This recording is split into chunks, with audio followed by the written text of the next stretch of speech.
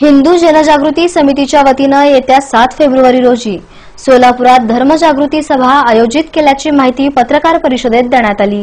येत्या सात फेब्रुवारी रोजी हिंदू जनजागृती समितीच्या वतीनं पुंजाल क्रीडांगण पाण्याच्या टाकीजवळ अक्कलकोट रोड सोलापूर.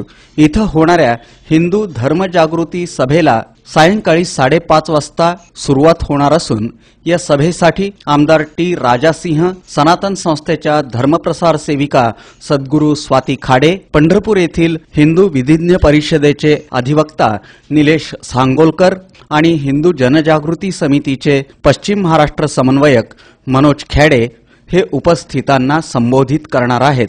अशी माहिती हिंदू जनजागृती समितीच्या राजश्री तिवारी यांनी पत्रकार परिषदेत दिली. जे अन्याय होतात किंवा अत्याचार होतात याला वाचा फोडण्यासाठी आपण धर्मशिक्षणाद्वारे हिंदूंना संघटित करणं तसंच हिंदू राष्ट्राच्या स्थापनेची पायाभरणी करणं. यासाठी सोलापूरकर मागील एक महिन्याच्या प्रसारामध्ये सज्ज झालेले आहेत.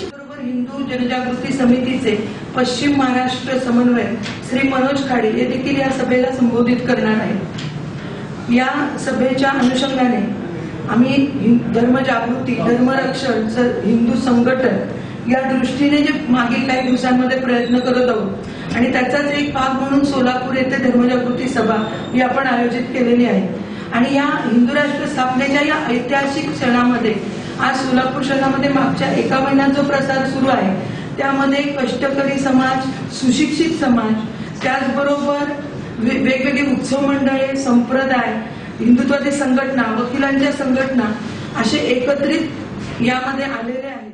पत्रकार परिषदेला सनातन संस्थेच्या अनिता बुंडगे राजन बुंडगे माजी नगरसेवक बापू ढगे उपस्थित होते.